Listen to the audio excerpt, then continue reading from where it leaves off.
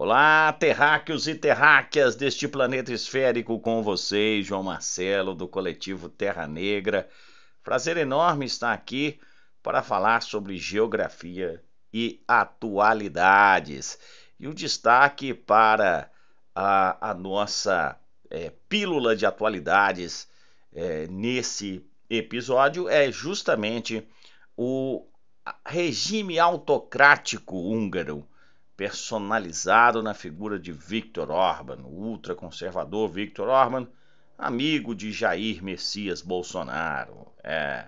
O Estado de Direito da Hungria foi degradado ao ponto de o país se tornar um regime híbrido de autocracia eleitoral. Essa foi um, uma nota, um destaque, na realidade, da resolução do Parlamento Europeu aprovada no último dia 15 de setembro por 433 votos a favor, 123 contra e 28 abstenções. Realmente, essa resolução, uma longa resolução com 48 páginas, foi um marco na relação entre a União Europeia e um dos seus países membros, a Hungria. Destaca-se ainda que na resolução há Abre aspas. Lamentamos profundamente que a falta de ação decisiva da União Europeia tenha permitido que isso acontecesse na Hungria, ou seja, a União Europeia, os parlamentares do Parlamento Europeu já começam a dar sinais de sérias restrições à evolução do regime de Viktor Orban. Talvez a União Europeia vai, eh, esteja já pensando em acionar mecanismos mais robustos de contenção desse processo de erosão democrática que tem acontecido no país. Na realidade, nós temos que entender que é, Viktor Orban está desde 2010 no governo da Hungria. Então, já se vão 12 anos de governo, de permanência no governo. E ele é muito conhecido pelas suas políticas xenofóbicas, pelas suas políticas homofóbicas, pelas suas políticas de restrição à liberdade de imprensa e também pelo próprio processo de erosão democrático, quando passa a alterar, por exemplo, a composição da Suprema Corte do país. Vamos analisar rapidamente cada um desses pontos. No caso da xenofobia, é, nós temos que lembrar que a Hungria foi um dos principais pontos de passagem para centenas de milhares de refugiados, especialmente sírios, que viajavam para a Europa no auge lá da crise migratória de 2015.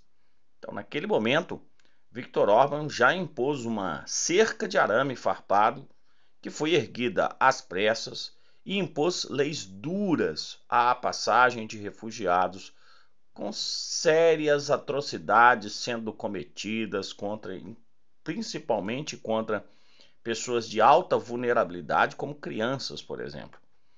Ele reduziu dessa forma bastante a entrada de refugiados e naquele momento ele fez o oposto, por exemplo, da principal economia da Europa, que foi a Alemanha, que teve uma política mais receptiva. E ainda, para intensificar esse processo de contenção à entrada é, de refugiados, eles agora estão construindo uma segunda cerca e, e, destinando alguma coisa em torno de 123 milhões de euros. E, e, evidentemente, esse esforço de fronteira vai incluir também patrulhas, zonas de trânsito, e o custo total pode ser avaliado em um bilhão de euros. Essa nova barreira que está surgindo no sul da Hungria é capaz, por exemplo, de aplicar choques elétricos a imigrantes. É, ela é armada com sensores de calor, câmeras e alto-falantes que podem é, tocar em vários idiomas. Então, uma posição muito, mas muito ostensiva contra a entrada de imigrantes, inclusive um discurso que lembra discursos neonazistas, como por exemplo, um discurso contrário à miscigenação, um discurso que exalta a superioridade racial da Europa. Muito preocupante. Por outro lado, é, para realmente recompor a população economicamente ativa e para afirmar o seu nacionalismo, ele tem promovido um incentivo à natalidade no país.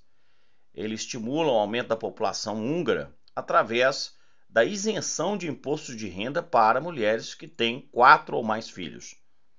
O imposto de renda na Hungria é cobrado muitas vezes a uma taxa fixa de 15%. Então, isso já representaria ali um subsídio interessante. Para as mulheres que têm menos filhos, há também reduções de impostos e cidadãos mais velhos deixam que deixam seus empregos aí para cuidar de netos são compensados pelo governo. Então são formas aí, são programas de incentivo de natalidade. O ataque aos direitos LGBTQIA+, é outra marca do governo Orban. O FEDES, ou Fidesz, né, melhor dizendo, assumiu o poder, é o seu partido, e inscreveu na Constituição da Hungria que o casamento só é possível entre homem e uma mulher. Um homem e uma mulher. Acabando com qualquer esperança do país legalizar o casamento entre pessoas do mesmo sexo. Desde então, o governo adota uma série de políticas destinadas a restringir ainda mais os direitos das, das populações e das pessoas LGBTQIA. Em dezembro de 2020, por exemplo, depois é, de proibir ah, as pessoas transgêneras de mudar seu nome em documentos oficiais, o governo efetivamente proíbe a adoção de casais do mesmo sexo. Anteriormente era possível fazer se o pai ou mãe solteiro solicitasse a adoção por conta própria. Mas agora é necessária a aprovação do ministro dos Assuntos da Família. Veja aí o tom do ministério. A Constituição do país também foi alterada para incluir a frase: a mãe é uma mulher, o pai é um homem.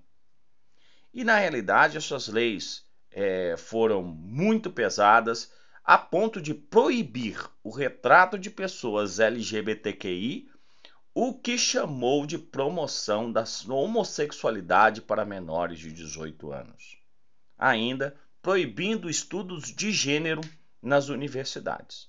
Um imenso retrocesso no contexto democrático. Também reduziu drasticamente a liberdade de, de imprensa. Nos últimos 12 anos, ele criou um órgão de regulação da imprensa e passou a caçar violentamente concessões por causa de coberturas críticas a ele, o que praticamente eliminou toda a imprensa livre do país, além de aplicar pesadas multas aos jornalistas. Além disso, ele, aumenta, ele mudou radicalmente a composição da Suprema Corte, e, e corrompeu a democracia, alterando significativamente o famoso sistema de pesos e contrapesos.